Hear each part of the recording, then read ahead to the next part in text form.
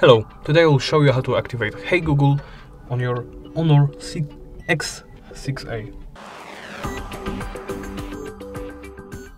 First, you'll need to go into the settings, go down to the very bottom, go into the Google menu, go down and go into the settings for Google Apps, search Assistant Voice, Google Assistant, look for the gen uh, and finally press Hey Google and Voice Match.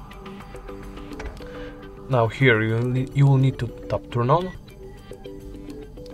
toggle Hey Google on, and after that you'll be prompted to uh, give your uh, permission to a few things.